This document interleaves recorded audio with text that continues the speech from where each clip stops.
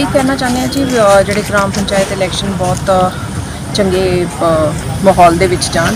Law and order ਦੀ ਜਿਹੜੀ ਵਿਵਸਥਾ ਹੈਗੀ ਅਸੀਂ ਬਿਲਕੁਲ ਖਰਾਬ ਨਹੀਂ ਹੋਣ ਦੇਣੀ ਹੈਗੀ। ਮੈਂ ਤੇ ਐਸਐਸਪੀ ਸਾਹਿਬ ਇਸ ਚੀਜ਼ ਨੂੰ ਅਸੀਂ ਰਿਵਿਊ ਕਰ ਰਹੇ ਹੈਗੇ ਪਿਛਲੇ ਇੱਕ ਹਫ਼ਤੇ ਤੋਂ ਅਸੀਂ ਆਦੀ ਟੀਮਸ ਦਾ ਰਿਵਿਊ ਲੈ ਰਹੇ ਹੈਗੇ ਤੇ ਅਸੀਂ ਲੋਕਾਂ ਦੇ ਵਿੱਚ ਇਹੀ ਮੈਸੇਜ ਦੇਣਾ ਚਾਹੁੰਦੇ ਤੁਹਾਡੇ ਰਾਈ ਕਿ ਸਾਨੂੰ ਸਪੋਰਟ ਕਰਦੇ ਹੋਏ ਬਿਲਕੁਲ ਅਮਨ ਸ਼ਾਂਤੀ ਦੇ ਨਾਲ ਇਸ ਡੈਮੋਕ੍ਰੇਸੀ ਨੂੰ ਅਸੀਂ ਕਾਇਮ ਰੱਖੀਏ। ਚੋਣ ਪ੍ਰਚਾਰ ਦੀ ਗੱਲ ਕੀਤੀ ਜਾਵੇ ਤਾਂ ਕਿੰਨੇ ਵਜੇ ਬੰਦ ਹੋਏਗਾ ਔਰ ਕਿਸ ਤਰੀਕ ਨੂੰ ਹੋਏਗਾ ਉਹਦੇ ਬਾਰੇ ਥੋੜਾ ਉਹਦੀ ਜੀ ਅਸੀਂ ਆਰਡਰ ਕਰਦੇ ਹੈਗੇ ਆ ਉਹ ਤੁਹਾਨੂੰ ਅਸੀਂ ਐਜ਼ ਅ ਪ੍ਰੈਸ ਨੋਟ ਦੇ ਦਿੰਦੇ ਹੈਗੇ। ਲੋਕਾਂ ਨੂੰ ਕੀ ਕਹਿਣਾ ਚਾਹੋਗੇ? ਕਿਉਂਕਿ ਇਲੈਕਸ਼ਨਸ ਤਾਂ ਹਰੇਕ 5 ਸਾਲ ਬਾਅਦ ਆਣੇ ਆ। ਭਾਈਚਾਰਕ ਨੂੰ ਲੈ ਕੇ ਕੀ ਕਹਿਣਾ ਚਾਹੋਗੇ? ਲੋਕ ਆਪ ਬਹੁਤ ਸਿਆਣੇ ਹੈਗੇ ਜੀ ਸਾਨੂੰ ਬੜਾ ਅੱਛਾ ਸਹਿਯੋਗ ਮਿਲ ਰਿਹਾ ਸਭ ਦਾ। ਔਰ ਅਸੀਂ ਵੀ ਅੱਗੇ ਵੀ ਆਸ ਰੱਖਦੇ ਹਾਂ ਕਿ ਸਾਰੇ ਸਹਿਯੋਗ ਨਾਲ ਹੀ ਅਸੀਂ ਚੱਲਾਂਗੇ। ਕੀ ਕੋਈ ਕੰਪਲੇਂਟ ਆਈ ਹੈ ਪ੍ਰਸ਼ਾਸਨ ਦੇ ਕੋਲ ਕਿਸੇ ਤਰ੍ਹਾਂ ਦੀ? ਕਿਸੇ ਪਿੰਡ ਨੂੰ ਲੈ ਕੇ ਕਿ ਸੈਂਸਿਟਿਵ ਪੁਆਇੰਟ ਨੇ ਜਾਂ ਕਿਸੇ ਤਰ੍ਹਾਂ ਦਾ? ਸੈਂਸਿਟਿਵ ਤੇ ਹਾਈਪਰ ਸੈਂਸਿਟਿਵ ਇੱਕ ਪ੍ਰੋਸੀਜਰ ਹੁੰਦਾ ਹੈ ਜੀ। ਲੋਕ ਸਭਾ ਇਲੈਕਸ਼ਨਸ ਚ ਅਸੈਂਬਲੀ ਇਲੈਕਸ਼ਨਸ ਚ ਤੇ ਗ੍ਰਾਮ ਪੰਚਾਇਤ ਇਲੈਕਸ਼ਨਸ ਚ।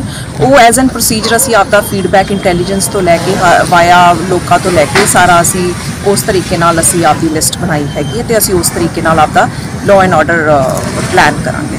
ਥੈਂਕ ਯੂ ਸੋ ਮਚ ਜੀ ਸਰ ਦੀਆਂ ਇੰਸਟਰਕਸ਼ਨਸ ਤੇ ਮੈਂ ਤੇ ਡੀਸੀ ਮੈਮ ਅਗਵਾਈ ਡੀਸੀ ਮੈਮ ਕਰ ਰਹੇ ਨੇ ਤੇ ਅਸੀਂ ਇਕੱਠੇ ਰਲ ਕੇ ਜਿਹੜਾ ਹੈਗਾ ਫਲੈਗ ਮਾਰਚ ਕਰ ਰਹੇ ਹਾਂ ਤੇ ਬਾਕੀ ਸੈਂਸਿਟਿਵ ਪਿੰਡਾਂ ਦਾ ਵੀ ਜਨਰਲੀ ਵੀ ਸਾਰਾ ਕਰ ਰਹੇ ਹਾਂ। ਸਾਡੀ ਆਲਮੋਸਟ ਸਾਰੀ ਜਿਹੜੀ ਫੋਰਸ ਹੈਗੀ ਆ ਡਿਪਲੋਇਮੈਂਟ ਹੋ ਚੁੱਕੀ ਹੈ ਤੇ ਲਾਅ ਐਂਡ ਆਰਡਰ ਨੂੰ ਮੁੱਖ ਰੱਖਦੇ ਹੋਏ ਸਾਡੀਆਂ ਟੀਮਾਂ ਆਲਰੇਡੀ ਹੈਗੀਆਂ ਨੇ, ਕੰਮ ਕਰ ਰਹੀਆਂ ਨੇ ਰਿਕਵਰੀਜ਼ ਵੀ ਕਰ ਰਹੀਆਂ ਨੇ। ਬਾਕੀ ਮੇਰਾ ਤਾਂ ਸ- ਇੱਕੋ ਹੀ ਸੰਦੇਸ਼ ਹੈ ਕਿ ਜਿਹੜਾ ਇਹ ਪੇਂਡੂ ਇਲੈਕਸ਼ਨ ਆਪਣੀ ਪੰਚਾਇਤੀ ਇਲੈਕਸ਼ਨ ਆ, ਇਹ ਇੱਕ ਫੇਅਰ ਦੀ ਤਰ੍ਹਾਂ ਅਹ, ਜਿਹੜਾ ਹੈਗਾ ਹੋਣਾ ਚਾਹੀਦਾ ਨਾ ਕਿ ਕੋਈ ਗਰਜਾਂ ਦਾ।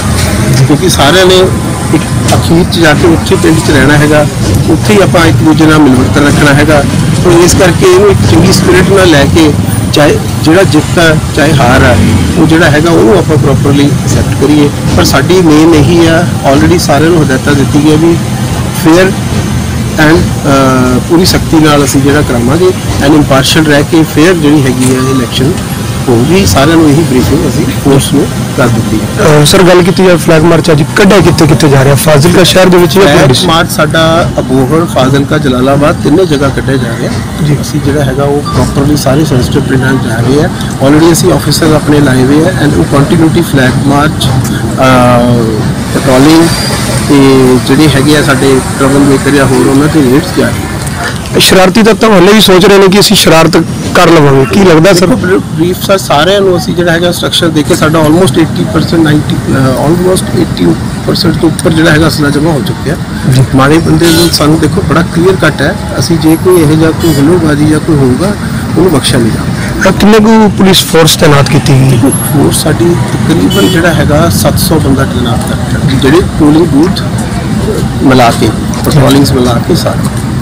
ਲੱਗਦਾ ਹੋਰ ਜ਼ਰੂਰਤ ਹੈਗੀ ਹੈ ਹਲੇ ਜ਼ਿਲ੍ਹੇ ਫਾਜ਼ਿਲਕਾ ਦੇ ਵਿੱਚ? ਬਿਲਕੁਲ ਸਾਡੇ ਕੋਲ ਇਨਫ ਫੋਰਸ ਹੈ ਡੀ ਸਰ ਨੇ ਪ੍ਰੋਵਾਈਡ ਕੀਤੀ ਹੈ ਰਿਜ਼ਰਵਸ ਵੀ ਹੈਗੀਆਂ ਨੇ ਤੇ ਅਸੀਂ ਜਿਹੜਾ ਹੈਗਾ ਪੂਰਾ ਟੈਕਲ ਕਰਾਂਗੇ। ਕੋਈ ਨੰਬਰ ਜਾਰੀ ਕੀਤਾ ਗਿਆ ਜੇਕਰ ਕਿਸੇ ਨੂੰ ਕੋਈ ਕੰਪਲੇਂਟ ਹੁੰਦੀ ਹੈ ਆਪ ਵੈਸੇ ਦੇਖੋ ਕੰਪਲੀਟ ਦਾ ਨੰਬਰ ਆਲਰੇਡੀ ਸਾਰਿਆਂ ਕੋਲ ਹੈਗਾ ਹੈਗਾ 1 2 ਹੈਗਾ ਪੰਜਾਬ ਵਾਲਾ ਹੈਗਾ ਕੋਈ ਵੀ ਜਿਹੜਾ ਹੈਗਾ ਐਨੀ ਟਾਈਮ ਕਰ ਸਕਦਾ। Sir thank you so much